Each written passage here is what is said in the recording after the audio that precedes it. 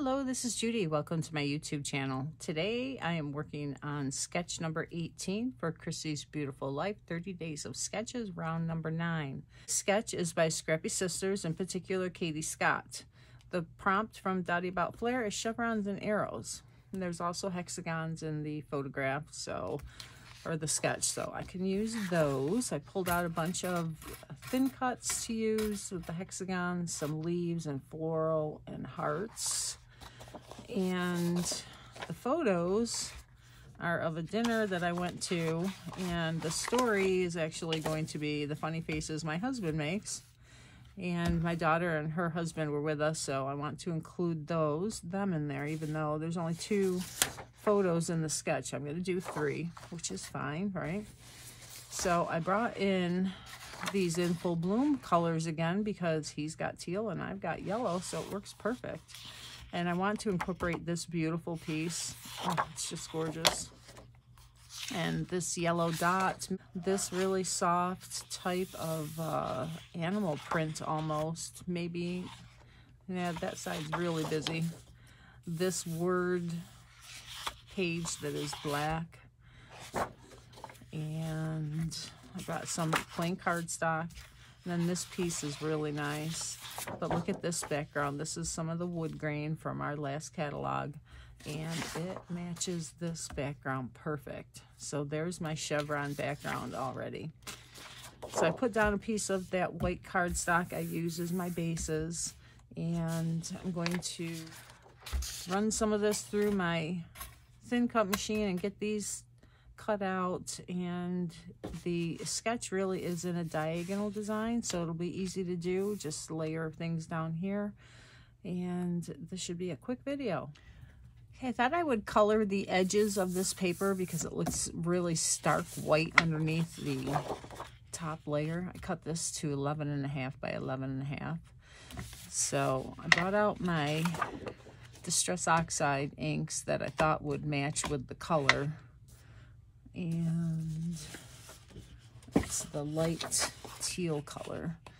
So I think Speckled Egg is close. The Salvage Patina is a little bit more blue but I can use both of them. It'll be so subtle that you really, it won't make a big difference. So I'm just going to go from the edge and go in a little bit like this.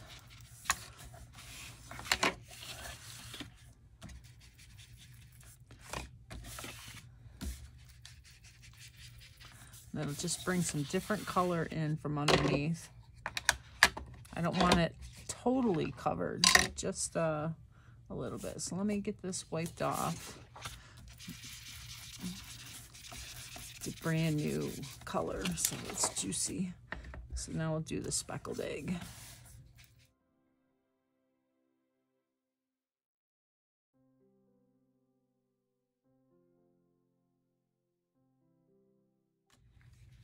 Really adds a lot. I love how that looks. Okay.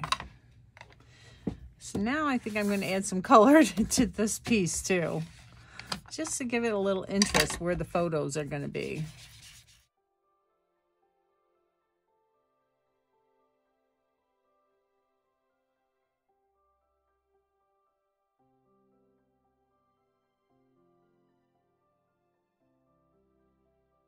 I also want to add some splatters.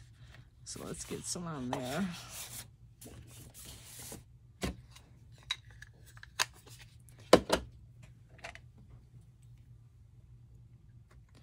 Add some water to it with my water brush. I want big drops that will be opaque. So hopefully it doesn't look like it's going to stay opaque once it dries. All right, so let's add some white gesso to it.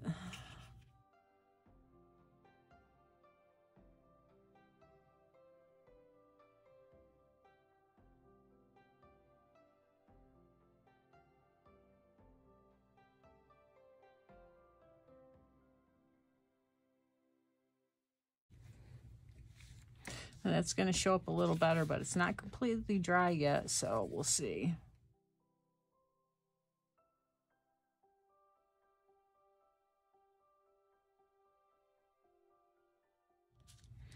Oh, that's so pretty. It just added life to it all, right? So I'm going to be working on my title while my background is drying. I'm trying to hurry it up with a little heater. So I'm going to put the title on. I put it on uh, white and I used our UV coated cardstock. I don't know if you can see that. I'll zoom in here so you can maybe see the shine. It's so pretty and it cuts so well in the Cricut. So I'm going to put it on this hexagon and this is on Harbor, our new Harbor paper. I want to put some stitched lines around this with my gel pens. Let's see. These are both 08, so I guess that's what I'm going to use. I'm going to use these, you can start them off on your finger. For whatever reason, the warmth and softness of your finger helps that ball, to roll. And you're going to just lightly touch it to the paper. Don't press down too hard or the ball doesn't roll as nice. And I like to do a back and forth little motion. It seems to give it like two coats of the, the white ink.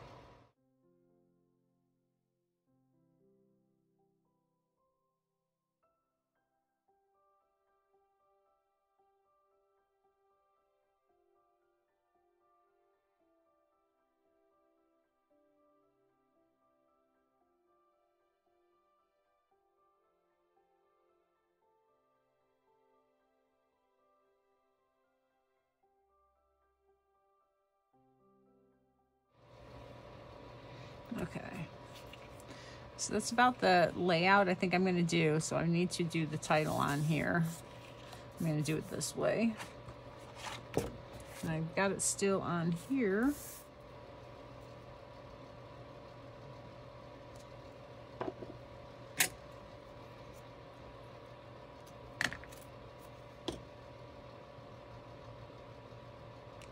And I made this piece with uh, my Cricut. I went on and I was going to do funny face. And I always check the phrases. They have a new option to check just for phrases. So I put in funny face and um, this came up. So I said, oh, I like that even better. So put on a happy face. It is. All right, so there's my title. All right, so I got together all the little pieces I had left over from that previous projects. And there are quite a few other items I can use from the sticker sheet. There's a bunch of flowers left and the leaves. So I'm going to try to incorporate them. I think it's going to, I'm going to use this as It's a Good Life down at the bottom there's this little arrow here. And they put the title here. It's okay. I can put my title up there. And this portion, I cut out a couple of more hexagons pieces from paper I had left over. And these are die cut flower pieces that I made in case I want to incorporate those. So we'll see um, my piece I put under here to flatten it because the heater made it warp. That's all right. It should flatten in my scrapbook. This piece can go down at the bottom like this. And let's, I'm going to put it on some foam here. It took the glue off my finger. there, that's a good way to clean your fingers. Put it on a sticker. All right, so I think all of these big flowers are going to be too much. The little flowers, let's see.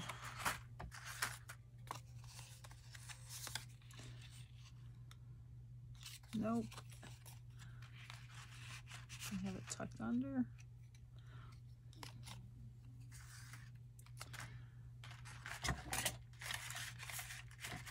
Let's see what these ones will look like.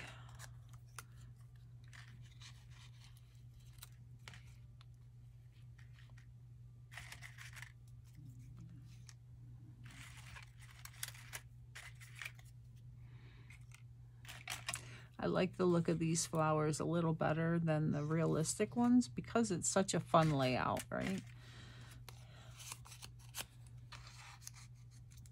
I had a couple of splashes of yellow.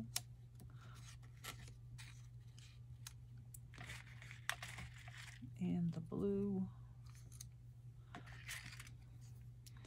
This can go maybe as an arrow element type. I like adding that stripe in there. And I can bring half of it down here. Let's see if we can get some black in there. Oh, there's another butterfly. Let's see, maybe, maybe not. The black might be too much. The black is behind the photos, so you think it would be okay, but it actually, it looks pretty intense. Where's my blue heart? There it is.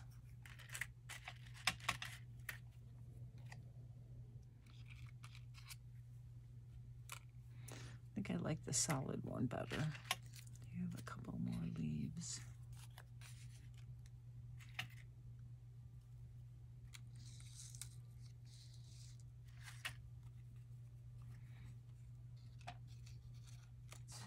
I need to think about journaling. Let's see, is there anything on here?